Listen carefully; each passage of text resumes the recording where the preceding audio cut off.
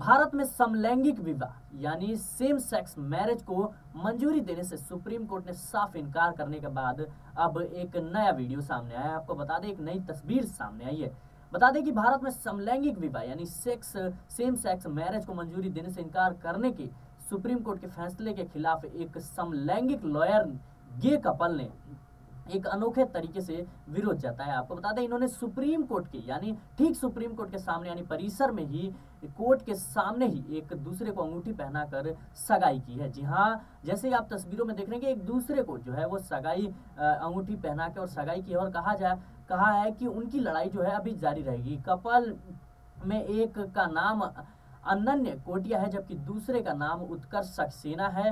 दोनों ने बुधवार 18 अक्टूबर को एक दूसरे को अंगूठी पहनाई है और बता दें कि अनन्य कोटिया ने उत्कर्ष उत्कर्ष को सुप्रीम कोर्ट के घुट, सुप्रीम कोर्ट के सामने घुटनों पर बैठकर जो है प्रपोज किया और अंगूठी पहनाई और बता दें सगाई भी जो है उनकी अंगूठी पहनाकर हो चुकी है। आपको बता दें, उन्होंने तस्वीर सोशल मीडिया पर प्लेटफॉर्म यानी ट्विटर यानी एक्स पर शेयर करते हुए लिखा कि जि, जिसने सोशल मीडिया यूज़र्स का ध्यान अपनी ओर खींचा है। खास बात यह है कि अनन्य और उत्कर्ष दोनों ही सुप्रीम कोर्ट सुप्रीम कोर्ट में वकील हैं और समलैंगिक विवाह की मंजूरी के लिए याचिका लगाने वाले नामों में शामिल थे। आपको बता दें उत्कर्ष सक्सेना ऑक्सफोर्ड यूनिवर्सिटी से पीएचडी की है। आपको बता दें जबकि उनके partner Ananya London School of Economics से पीएचडी हैं। आपको बता दें, दोनों की मुलाकात ड्यू में, हंसराज कॉलेज में पढ़ाई के दौरान हुई थी। अनन्य कहते हैं कि हमारी मुलाकात डिबेटिंग सोसाइटी के ज़रिए हुई। उसके बाद हम एक दूसरे के करीब आते गए। हमारा प्यार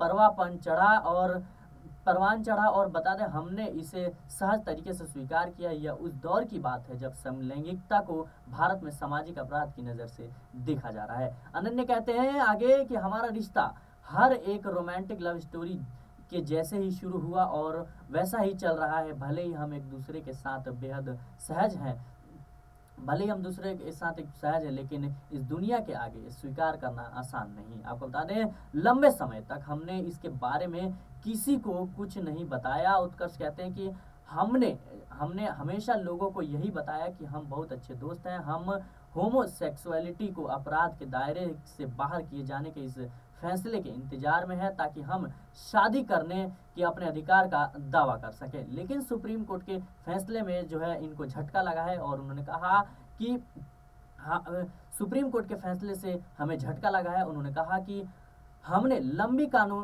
कानूनी लड़ाई लड़ी है और एक बार फिर एक दूसरे को अंगूठी पहनाकर सगाई के ज़रिए हमने ये तय किया है कि जिस सुप्रीम कोर्ट में हमारे हमारे अधिकारों को स्वीकार करने से इनकार किया है, वहीं से हमारी लड़ाई आगे भी जारी रहेगी।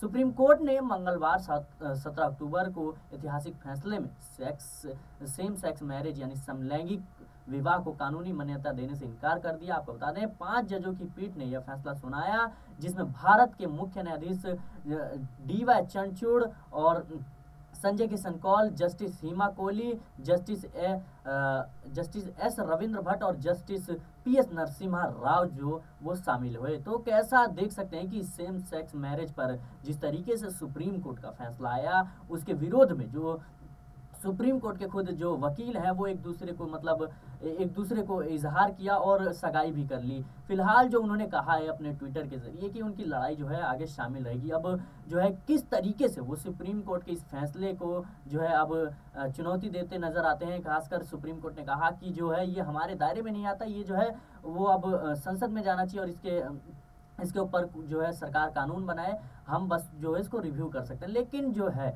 अब सरकार इस पे क्या स्टैंड लेती है? क्योंकि सरकार जो है खुद sex marriage same sex marriage के खिलाफ है। तो ऐसे में अभी ये अपनी लड़ाई किस तरीके से लड़ते हैं और आपकी क्या राय है इसमें? कि क्या सेम सेक्स मैरिज जो है भारत में वो अलाउड करना चाहिए या फिर नहीं करना चाहिए और इससे समाज पे क्या असर पड़ेगा? इन सवालों के जवाब हमें कमेंट बॉक्स में ज़रूर बताएँ। देखते रहिए नेक्स्ट दिन आवाज़